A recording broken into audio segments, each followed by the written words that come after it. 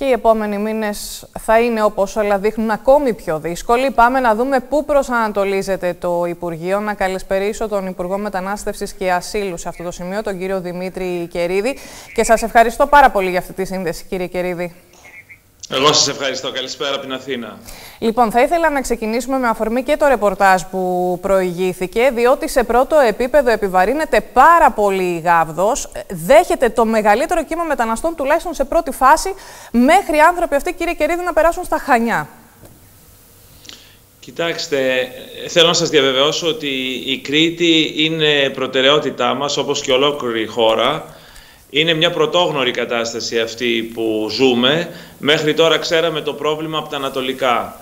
Εκεί η κατάσταση είναι εξαιρετικά βελτιωμένη και στον Εύρο και στο Ανατολικό Αιγαίο, κυρίως στον Εύρο, αλλά τώρα πια και στο Ανατολικό Αιγαίο. Έχουμε μια μετατόπιση της μεταναστευτικής πίεσης από την Ανατολική Λιβύη, μια περιοχή η οποία έχει αυτονομηθεί και έχει καταστεί έφορο έδαφος για διακινητές, με Αιγύπτιους κυρίως, όχι μόνο, αλλά κυρίως Αιγυπτιακής καταγωγής μετανάστες οι οποίοι έρχονται. Τα νούμερα είναι μικρά, θέλω να το τονίσουμε αυτό, αλλά οπωσδήποτε η τάση έχει μια δυναμική η οποία μας προβληματίζει και γι' αυτό λαμβάνουμε μια σειρά από πρωτοβουλίες. Κομβική σημασία είναι η συνεργασία με την Αίγυπτο, από όπου προέρχεται η μεγάλη πλειοψηφία των μεταναστών. Ε, θα πάει ο Πρωθυπουργός τις προσεχείς ημέρες. Έχουμε αναλάβει πρωτοβουλία σε ευρωπαϊκό επίπεδο για την στήριξη και τη συνεργασία με την ε, Αίγυπτο. Θα υπάρξει και συμφωνία της Ευρωπαϊκής Επιτροπής της Ευρωπαϊκής Ένωσης. Στο ταξίδι θα είναι με την Ursula von der Leyen, την πρόεδρο της Επιτροπής και βεβαίως όλες οι υπόλοιπες επαφές με μια χώρα με την οποία έχουμε έτσι και αλλιώς πολύ καλές ε, σχέσεις και αυτό βοηθά. Από εκεί και πέρα είμαστε σε συντονισμό και συνεργασία με τις α, α, τοπικές κοινωνίες για την αντιμετώπιση του φαινομένου με ασφάλεια, κυρίως για τις α, τοπικές κοινωνίες, αποτελεσματικότητα και ταχύτητα, με τον Περιφερειάρχη της Κρήτης και όπως είχα πει θα κατεβώ στην Κρήτη ακριβώς για να κάνουμε τις mm -hmm. απαραίτητες εκείνες ενέργειες και συνεργασίες με όλους για να αντιμετωπίσουμε το πρόβλημα. Λοιπόν, κύριε Κερίδη, θα μου επιτρέψετε λίγο να επιμείνω σε ό,τι αφορά τη Γάβδο, διότι από ό,τι φαντάζομαι, τουλάχιστον τις τελευταίες μέρες ενημερώνεστε εκτενώς. Εκεί οι άνθρωποι περιμένουν εδώ και δύο εβδομάδες δύο λιμενικούς, γιατί μέχρι τώρα τον όλο σχεδιασμό, με τον όλο σχεδιασμό έχουν επιφορτιστεί ένας και μοναδικός αστυνομικός του νησιού και ένας αντιδήμαρχος. Κοιτάξτε, η Γάβδος είναι ένα πάρα πολύ μικρό νησί με ελάχιστους μόνιμους κατοίκους και στοιχειώδη θα σας έλεγα πολύ πενιχρή κρατική υποδομή. Είναι προφανές ότι δεν μπορεί να διαχειριστεί ακόμα και δεκάδες, όχι εκατοντάδες παράνομες αφήξεις και γι' αυτό πρέπει να ενισχυθεί. Υπάρχει εκεί η πρωτοβουλία στο λιμενικό και στην αστυνομία, στα Υπουργεία Προστασίας του Πολίτη και ε, Ναυτιλίας. Περάσαμε ένα δύσκολο καλοκαίρι και ένα δύσκολο α, φθινόπωρο θα σας έλεγα. υπάρχει τώρα μια δυνατότητα να μετατοπιστούν κάποιες δυνάμεις από τα ανατολικά στα νότια για την αντιμετώπιση του προβλήματος. Εκφεύγει από τη δικιά μου αρμοδιότητα. Σας λέω όμως ότι υπάρχει ο συντονισμός. Έχουμε κάνει α, τις α, συνεργασίες, τις συσκέψεις με τα συναρμόδια Υπουργεία. Η Γάβδος δεν θα είναι μόνη, δεν θα φεθεί μόνη και μια από τις πρωτοβουλίες που παίρνουμε είναι να στηρίξουμε και οικονομικά τους α, τοπικούς δήμους, τον πολύ μικρό δήμο της Γάβδου, mm -hmm. ο οποίος δεν έχει και τα μέσα να ανταποκριθεί, έστω και για κάποιες α, λίγες δεν μέρες. Δεν υπάρχουν ούτε τα στοιχειώδη, συν το ότι οι άνθρωποι αυτοί μπορεί να αποκλειστούν λόγω καιρικών συνθήκων για άγνωστο χρονικό διάστημα, όπως συμβαίνει και αυτή τη στιγμή. Είναι η δεύτερη περίπτωση που καταγράφουμε με, μέσα σε πάρα πολύ σύντομο χρονικό διάστημα. Επομένως, Κοιτάξτε, μας λέτε... εμείς, δεν έχουμε, ναι. εμείς δεν έχουμε την υποδομή. Δεν υπάρχει υποδομή, δεν υπάρχει ε, οτιδήποτε από το Υπουργείο Μετανάστευσης και Ασύλου σε ολόκληρη την περιφέρεια της Κρήτης, με εξαίρεση ένα μικρό γραφείο ασύλου για τον αστικό πληθυσμό ε, του Ηρακλείου, στο Ηράκλειο ή τον, ε, από τα Χανιά.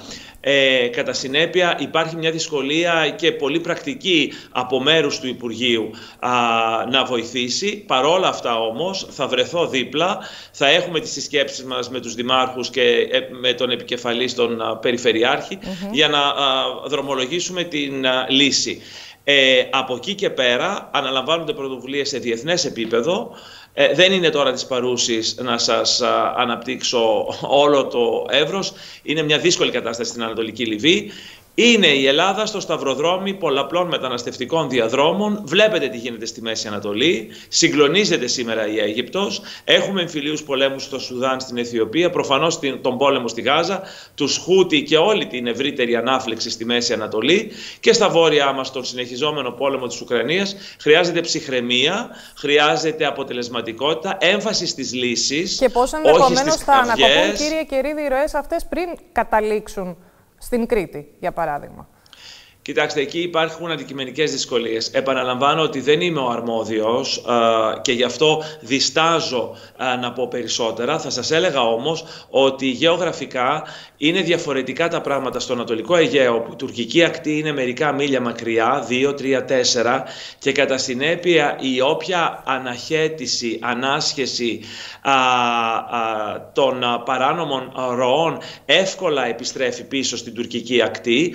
Αυτό δεν συμβαίνει συμβαίνει με την ίδια ευκολία. Το καταλαβαίνει ο καθένας α, στα νότια της Κρήτης, όπου η α, Λιβική ακτή απέχει 200 και 250 μίλια από τη Γάβδο ή ακόμα περισσότερο από την νότια Κρήτη και εκεί υπάρχει κίνδυνος για την ανθρώπινη ζωή και πάντοτε η ελληνική κυβέρνηση, η Ελλάδα συνολικά, η ελληνική κοινωνία, προφανώς το ελληνικό λιμενικό, προτεραιοποιεί την ανθρώπινη ζωή και είναι ε, το πρώτο και το κεντρικό. Αυτό δυστυχώς είναι κάτι που το ξέρουν οι διακινητές, οι εγκληματίες διακινητές ε, και το εκμεταλλεύονται. Γι' αυτό και μιλήσαμε στο παρελθόν και ο Πρωθυπουργός, αν θυμάστε τον Ιούλιο μετά την Πύλο και εγώ προσωπικά και επικρίθηκα από κάποιους ότι ίσως χρειαστούμε μια ναυτική επιχείρηση στα ανοιχτά της Λιβύης, στα ανοιχτά δηλαδή κοντά στη Λιβική ακτή, πριν αυτά τα σκάφη βρεθούν στην ανοιχτή και δημιουργηθούν οι περιπλοκές που σας είπα. Αλλά δεν είμαστε ακόμα εκεί, διότι εδώ χρειάζεται μια, ένας ευρωπαϊκός συντονισμός. Είναι το γεγονός ότι πηγαίνουμε και στις εκλογές τώρα, της 9ης. Έχει πέσει η γραμμή όπως με ενημερώνουν. Λοιπόν, κύριε Κερίδη, να επιστρέψω σε εσάς. Με δυσκολίες ναι, η συζήτηση, αλλά θα τα καταφέρουμε. Πρόβλημα. Εντάξει, ναι. ε, εντάξει να θα τα καταφέρουμε. ότι τώρα που θα κατέβω στο, στην Κρήτη θα έρθω στο στούντιο να κάνουμε ζωντανά την uh, συζήτηση Πολύ ευχαρίστως. Πότε θα κατέβετε, έχει προγραμματιστεί αυτό. Έχουμε κάποιες, ε, κάποια τελευταία, κάποια τελευταία, αλλά πολύ σύντομα. Μέσα Ωραία. στο μήνα πάντως. Ωραία. Μέσα λοιπόν, μήνα. κύριε Κερίδη, θέλω πολύ γρήγορα να σας πω, γιατί και ο χρόνος με πιέζει στο κομμάτι της χρηματοδότησης, αν μπορείτε να μας πείτε κάτι πιο συγκεκριμένο, γιατί για παράδειγμα θα επαναλάβω ότι ο Δήμος Χανίων από τον Ιανουάριο μέχρι και σήμερα έχει ε, δαπανίσει 200.000 ευρώ για τη φροντίδα των ανθρώπων αυτών και αν δεν κάνω ναι. λάθος, στα τέσσερα τελευταία χρόνια το ποσό αυτό ανέρχεται σε 350.000. Αν δεν κάνω λάθος, Τι... χωρίς αρρωγή από το κεντρικό κράτος.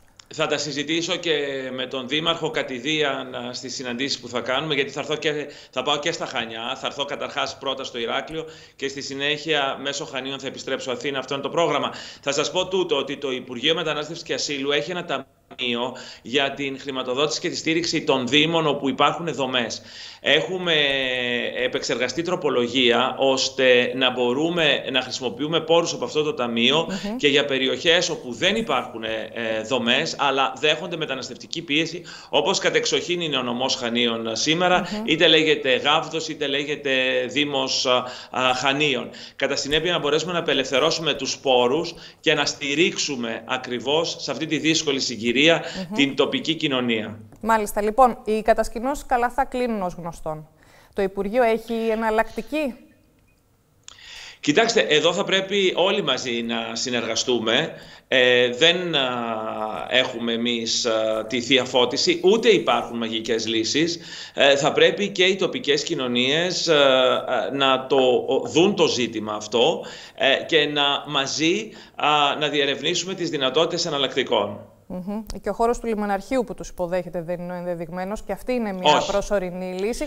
Δεν είναι και ξέρετε, θα ξεκινήσει η τουριστική σεζόν και δεν είναι εικόνα αυτή. Ε, και ε, αυτή τη στιγμή τα νούμερα είναι πολύ μικρά. ε, δεν θέλουμε να ζήσουμε αυτό που ζήσαμε με τη Ρόδο τον περασμένο Οκτώβριο, αν θυμάστε. Μάλιστα. Λοιπόν, κύριε Κερίδη, να σας ευχαριστήσω. Αντιμετωπίσαμε, κοιτάξτε, να ναι. πω ένα πράγμα. Η χώρα δεν θα ζήσει την κρίση του 2015. Η χώρα έχει και πολιτική και εργαλεία. Έχουμε αναλάβει πρωτοβουλίες και σε ευρωπαϊκό επίπεδο. Όπως τα καταφέραμε στο πολύ πολύ δύσκολο μέτωπο που ήταν το Ανατολικό. Θυμάστε τα προβλήματα με τους διακινητές στην Εγνατία το καλοκαιρι στον Εύρο. Δεν υπάρχουν πια. Θυμάστε τα προβλήματα στη Ρόδο ε, τον Οκτώβριο, τον Νοέμβριο. Δεν υπάρχουν πια. Έτσι θα τα καταφέρουμε και παντού. Λέτε βέβαια ότι υπάρχει σχεδιασμός, ωστόσο οι αυξανόμενες ροές αρχίζουν να καταγράφονται από το Σεπτέμβρη και έπειτα.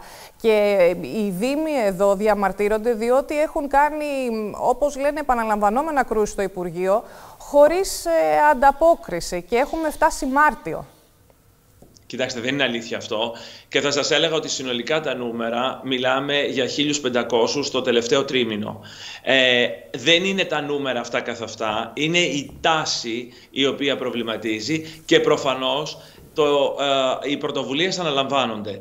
Η προτεραιότητα ήταν στα Ανατολικά, όπου πραγματικά είχαμε μεγάλα νούμερα τον περασμένο ε, Σεπτέμβριο και έχουμε μια μεγάλη πτώση, 85% σχεδόν μέχρι τώρα τον Μάρτιο. Από εκεί και πέρα θα σας πω τούτο. Όταν το πρωτοέθεσα το θέμα στους Ευρωπαίους ε, εταίρους μας ε, πριν δύο συμβούλια, κανείς δεν ήθελε να το συζητήσει, διότι όλοι επικεντρώνονταν στην Ουκρανία. Πολωνοί, Λετωνοί, Εστονοί, Φιλανδοί, Σουηδοί, Γερμανοί. Μην νομίσετε ότι η Ανατολική Λιβύη ήταν η προτεραιότητα.